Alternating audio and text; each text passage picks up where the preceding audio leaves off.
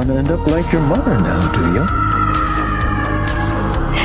No. I promise, one day this will all be a pleasant memory.